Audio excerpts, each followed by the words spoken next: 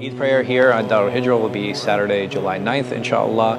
Uh, we will have prayers at 7 a.m., 8 a.m., 9 a.m., 10 a.m., 11 a.m., and 12 p.m. for a total of six prayers. In addition to multiple prayers, alhamdulillah, we also have multiple parking spaces. So the main facility will be here at Dar Hijra. Then we have parking that's going to be over here across the street at the church. And the last parking space we have is the neon sign that you see behind me. That is going to be our final parking area. It's a six minute walk. It's not as far as you think. So inshallah, I look forward to seeing all of you on Eid Day and Eidukum Mubarak.